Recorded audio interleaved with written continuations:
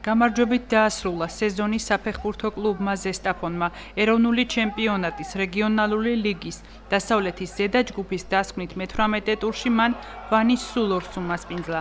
თანაბარ ბრძოლაში წარმართულ მატჩში ანგარიში მოულოდნელად გაიხსნა. მე-19 წუთზე ბექა სულაბერიძემ სტუმრები დააწინაურა. როგორც მატჩის დარჩენილმა დრომაჩვენა, ეს ვანელთათვის ერთადერთი გოლი აღმოჩნდა. 26 წუთზე ზესტაფონელთა მიერ განხორციელებული შეტევა ზუსტი დარტყმით ბესო ფერაძემ დაასრულა. 65 წუთზე თორნიკი ახვლედიანმა პენალტი გაიტანა. ბესო ფერაძე გახდა 99 წუთზე გატანილი მესამე გოლის ავტორიც.